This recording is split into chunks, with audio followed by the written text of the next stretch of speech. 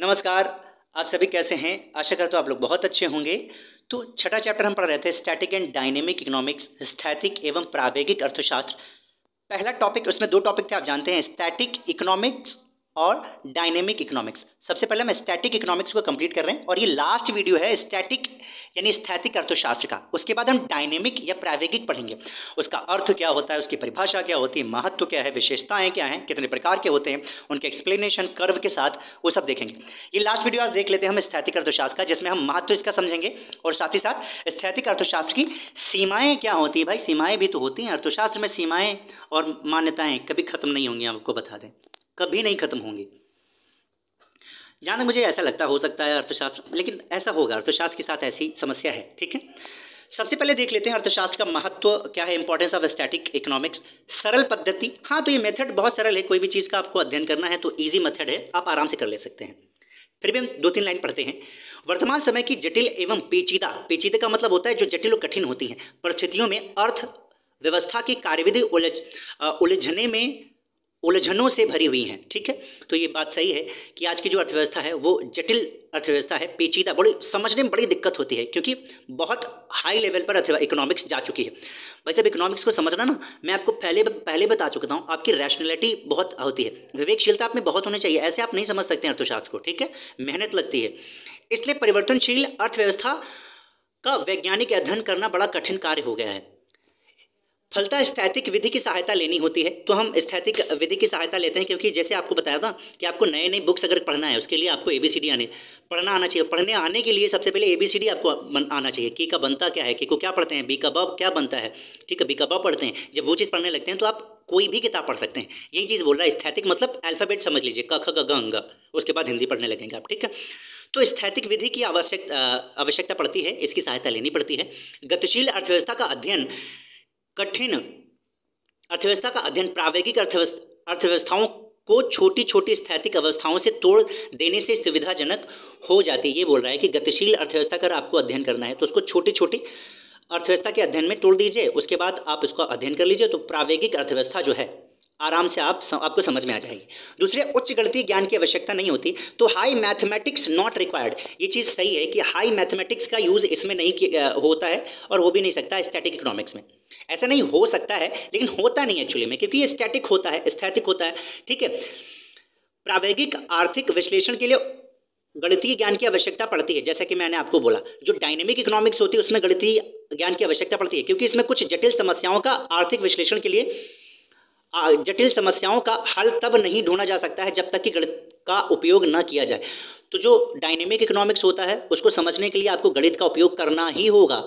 जो इकोनॉमिक्स वाले हैं ना, वो समझें, ये ना समझे कि इसमें कर्व अच्छे अच्छे मिल रहे हैं, बस थ्योरी पढ़ते जा रहे हैं, ऐसा नहीं है। आप अगर एनालिसिस करने जाएँगे ना, कुछ आप बनाएँगे, कुछ नियम बनाने का कोशिश करेंगे तो आपको मैथमेटिक्स का यूज़ करना पड़ेगा स्टैटिस्टिक्स का यूज़ करना पड़ेगा। इसलिए प्रावेगिक विश्लेषण जन सामान्य के लिए उपयोगी नहीं हो सकता। यही कह रहा है कि प्रावेगिक विश्लेषण सबको नहीं समझा सकते, क्योंकि आम जनता इसको नहीं समझ पाएगी। ठीक है? किंतु स्थैतिकी आर्थिक विश्लेषण में गणित की आवश्यकता नहीं पड़ती है, अतः यह विश्लेषण सरल है। मतलब नहीं पढ़ती इसका मतलब ये नहीं कि बिल्कुल नहीं पढ़ती थोड़ा बहुत पढ़ता है, जैसे कि हमने अभी आपको बताया था पिछली वीडियो में Y equal to C plus I वहाँ पर थोड़ा मैथमेटिक्स का यूज़ होगा, ये ध्यान रखिएगा। गणित के अंकों का यूज़ होगा यूज़ होगा। ठीक है सिम्बल्स का यूज़ होगा बहुत सारे। यही चीज़ कह रहा है, ये इसलिए ये सरल होती है, सरल पद्धति है सिंपल मेथड है, क्योंकि हाई मैथमेटिक्स नॉट रिक्वायर्ड होती है इसमें। वैज्ञानिक विश्लेषण की आवश्यक ठीक है? यद्यपि स्थैतिक विश्लेषण में गणित की सहायता नहीं ली जाती है या कम ली जाती है, तथापि अर्थशास्त्र के वैज्ञानिक विश्लेषण के लिए स्थैतिकी विश्लेषण की महत्वपूर्ण भूमिका होती है। ठीक है? भले इसमें मैथमेटिक्स का यूज़ नहीं किया जाता है या बहुत कम किया जाता है, फिर भी वैज्ञानिक अगर आपको एनालिसिस करना है, साइंटिफिक एनालिसिस करना है तो आपको स्थैतिकी जो इकोनॉमिक्स है उसका यूज़ आपको करना होगा। और लास्ट है विषय वस्तु का महत्व इंपॉर्टेंस ऑफ़ सब्जेक्ट मैटर अर्थशास्त्र की अधिकांश विषय सामग्री स्थैतिक अर्थशास्त्र के अंतर्गत आती है, क्योंकि वहीं से हम बेस शुरू करते हैं।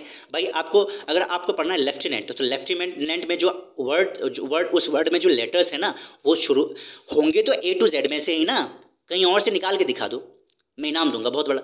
ए टू जेड में से ही आप लिखोगे, अलग से नहीं लिख सकते, क्योंकि उसका सिंबल सिंबल जो डिफाइंड है, वही कह रहा है कि अगर आपको प्रावेगिक समझना है तो स्थैतिक समझिए, प्रावेगिक अपने आप से समझ में आ जाएगा। और प्रावेगिक जब समझोगे तो बेसिक चीज़ें तो उसी में होंगी ना, जब बेसिक चीज़ समझ में आ जाएगी तो उसके बाद आप डायनेमिक आराम से निकाल लेंगे। यही चीज़ इसमें कह रहा है उदाहरण के लिए स्थैतिक अर्थशास्त्र के अंतर्गत स्वतंत्र व्यापार, मूल्य व उत्पादन निर्धारण के सिद्धांत, अंतर्राष्ट्रीय व्यापार आदि बातों का अध्ययन किया जाता है, ठीक है? तो मूल्य का मूल्य व उत्पादन के निर्धारण के सिद्धांत, अंतर्राष्ट्रीय व्यापार आदि आदि बातों का अध्ययन किया जाता है, ये चीज़ बोल रहा है। चलिए अब हम स्थैतिक अर्थशास्त्र की सीमाएँ देख लेते हैं। लिमिटेशंस ऑफ़ स्टैटिक इकोनॉमिक्स सबसे पहले जो लिमिटेशन है वो स्थैतिक धारणा। ये धारणा नहीं होगा, धारणा अव्यावहारिक है। इसे कहने का मतलब है, जो हमारी रियल लाइफ है एक्चुअली वो प्रावेगिक है। मतलब उसमें बदलाव रहता है, हर समय बदलती रहती है, बदलती रहती है। पिछले साल जो दाल बिक रही थी आज जो दाल वही बिक रही है चेंज आ गया है उनके प्राइस में। तो ये बेसिकली यही कह रहा है कि हमारी लाइफ में स्थैतिक अर्थशास्त्र का मतलब एग्जिस्ट नहीं करता है डायनेमिक इकोनॉमिक्स ही यूज़ होती है। लेकिन हाँ डायनेमिक इकोनॉमिक्स को पढ़ने के लिए, समझने के लिए सबसे पहले हमको स्थैतिक अर्थशास्त्र को समझना होगा। ये मेरा मानना है, मेरा कहना है, ठीक है? उसके बाद देखिए, अव्यावहारिक मान्यताएँ। अब देखिए, जो स्थैतिक अर्थशास्त्र में, इसमें कुछ मान्यताएँ ली जाती हैं, जैसे कि पूर्ण प्रतियोगिता का होना जनसंख्या का निश्चित आकार होना, यानी जनसंख्या का निश्चित आकार हो, ठीक है? लेकिन दोनों ही मान्यताएँ तो गलत हैं। मैंने आपको एक दिन बताया था जो पूर्ण प्रतियोगिता है, या फिर पूर्ण रोज़गार है, ये हर जगह तो एग्जिस्ट नहीं करता है। भाई, पूर्ण रोज़गार कहाँ पर है? हर जगह थोड़ी ना है। अगर अमेरिका विकसित है ना तो इसका मतलब ये नहीं कि सब एम्प्लॉयमेंट है। जनसंख्या का निश्चित आकार हर देश में नहीं हो सकता। जैसे भारत की ऐसी स्थिति है कि जनसंख्या क्या है? ओवर पॉपुलेटेड है। ठीक है? हम लोग ज़्यादा जनसंख्या वाले हैं, ठीक है? और बहुत सारे देश हैं, वहाँ पर कम है। कहीं की देश की जो किसी किसी देश की जो जनसंख्या है, वो संसाधनों के बराबर है। कहीं कहीं जनसंख्या संसाधनों के से कम है और कहीं कहीं संसाधनों से ज़्यादा जनसंख्या है। लेकिन हम ये चीज़ मानकर चलते हैं ना कि जैसे कि माल्थस ने जनसंख्या का सिद्धांत दिया था तो उन्होंने तब दिया था जब उनकी परिस्थिति थी। आप इस हिसाब से समझिए ना। परिस्थिति चेंज होगी तो भैया मेरा मानना है हम अर्थशास्त्र में वो नियम थोड़ा सा चेंज कर देंगे उसमें मॉडिफिकेशन कर देंगे। भाई मॉडिफाई कर देंगे थोड़ा सा। कौन सी दिक्कत है? इसीलिए उसके बाद आ, जो सिद्धांत आया जनसंख्या लिए वो आया अनुकूलतम जनसंख्या के सिद्धांत जो कि माल्थस के सिद्धांत को थोड़ा सा मॉडिफाई करके आया था। ठीक है? तो वो सिद्धांत और भी अच्छा हो गया। उसके बाद और भी जनसंख्या के सिद्धांत आने लगे। आप मेरी बात समझ रहे हैं ना? तो वेरी करता है, ये जो जनसंख्या है, हर देश में अलग अलग डिफरेंट डिफरेंट होती है। ये मान्यता तो है, इसको मानना तो पड़ेगा। तो पूर्ण प्रतियोगिता, हर जगह पूर्ण प्रतियोगिता नहीं होती है। दूसरा, हर जगह निश्चित जनसंख्या का आकार भी नहीं होता है। तीसरी जो है, परिवर्तनशील तत्वों का, तत्वों को स्थिर मानना। Variable factors are not constant इनके कहने का मतलब है। स्थैतिक अर्थशास्त्र का सबसे बड़ा दोष यह है कि इसमें जो तत्व परिवर्तनशील होते हैं, उनको भी यथास्थिर मान लिया जाता है। उदाहरण के लिए रीति रिवाज भाई रीति रिवाज और फ़ैशन जो है, वो परिवर्तनशील तत्व नहीं है। सॉरी स्थिर तत्व नहीं है, परिवर्तनशील है। जबकि स्थैतिक अर्थशास्त्र में इनको स्थिर मान लिया जाता है। तो गलत हो जाएगा ना। रुचियाँ, भाई, रुचियाँ तो बदलती रहती हैं। एक ही चीज़ थोड़ी रहती। है खान पान आप जो पाँच साल पहले छः साल पहले खाते थे, वो आप आज आपको चेंज हो गया होगा। दस साल पहले मान लीजिए आपके पास बहुत ज़्यादा पैसा नहीं था तो आप पच्चीस वाला चावल खाते थे। आज आप पैंतालीस वाला खाने लगे क्योंकि आपकी आय अच्छी खासी हो गई है।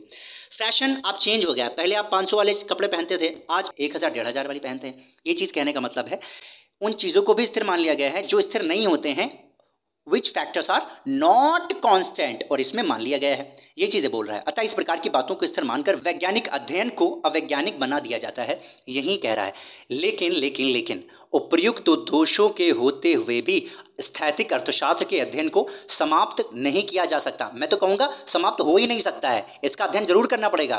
परिवर्तनशील व्यवस्था में प्रावैगिक आर्थिक अध्ययन अनेकानेक जटिलताओं से भरा पड़ा है। ऐसी दशा में स्थैतिक अर्थशास्त्र ही उन जटिलताओं को हल ढूंढ सकता है, क्योंकि क्या होता है, स्थैतिक अर्थशास्त्र में हम बहुत डीपली स्टडी स्टडी करते हैं, उससे क्या क्या हमारा ध्यान उन चीज़ों पे जाता है कि आखिर ये स्थैतिक अर्थशास्त्र में ये समस्या आ कहाँ से रही है? आखिर रोज़गार क्यों नहीं बढ़ रहा है? कीमतें क्यों बढ़ रही हैं भाई? टैक्स में ऐसा क्या कर दें कि आ, सरकार को दिक्कत ना हो? उसके पास है ना? इन सबका अध्ययन अगर आपको करना है ना तो स्टैटिक में करना पड़ेगा सबसे पहले। उसके बाद ही डायनेमिक में डायनेमिक में आप स्विच हो सकते हैं। आई होप आपको ये वीडियो पसंद आया होगा। अगली वीडियो में हम डायनेमिक इकोनॉमिक्स की सारी चीज़ें पढ़ेंगे। धन्यवाद।